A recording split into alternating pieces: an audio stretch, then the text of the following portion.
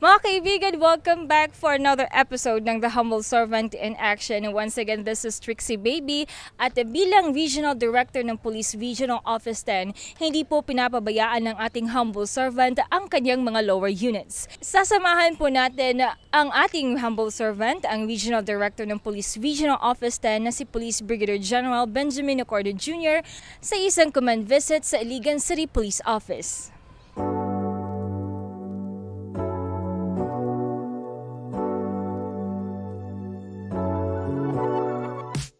Sa pagpunta niya sa Ligan City, dumaan muna siya sa Misamis Oriental para bisitahin ang mga personnel ng Inita Municipal Police Station.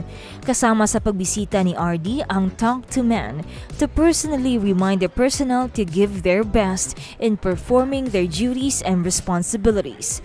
At bilang bahagi ng internal cleansing, ikinandak din ang regular na random drug test sa mga personnel ng nasabing police station.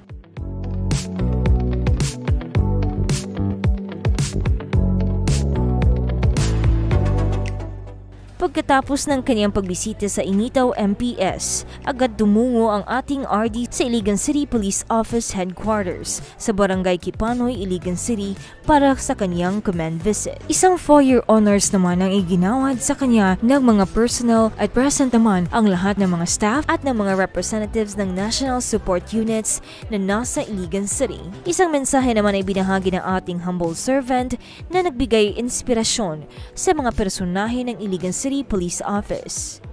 And I must personally say that uh, I am lucky for having you as my man on the ground. And when we say accomplishment of Proten, it's not me. It's the officers and men who supported me. And it's you who are on the ground, who are on the streets, papakaaraw na papakainit at nagbibigay ng good impression to the community. What is Proton made of. Words are not enough to say thank you. For the memories that we have created, kung may mga pangit man, kakalimutan ko na yon. Kasi wala namang perfectong tao. May I just remind each and everyone sa ating mga personnel to always make sure that the discipline will always be in you. Kung anong pinakita natin sa mga tao during my stint as regional director, please continue doing so because ang pride lang natin na maiwan sa ating uniform eh, when we remove our badge is a good impression that we have created to the community at masasabi natin we did our assignment. We are a family. I treat you as my family.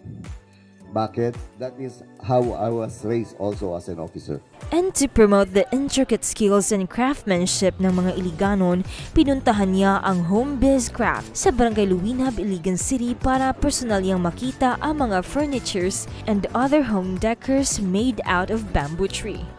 At yan po mga kaibigan, nasaksihan niyo po ang command visit ng ating Regional Director, ang humble servant po na si Police Brigadier General Benjamin Acorde Jr. sa Iligan City Police Office. Kung bago po kayo sa ating channel, you can always feel free to subscribe and click the bell button for more updates. Once again, this is Trixie Baby dito lamang po sa The Humble Servant in Action.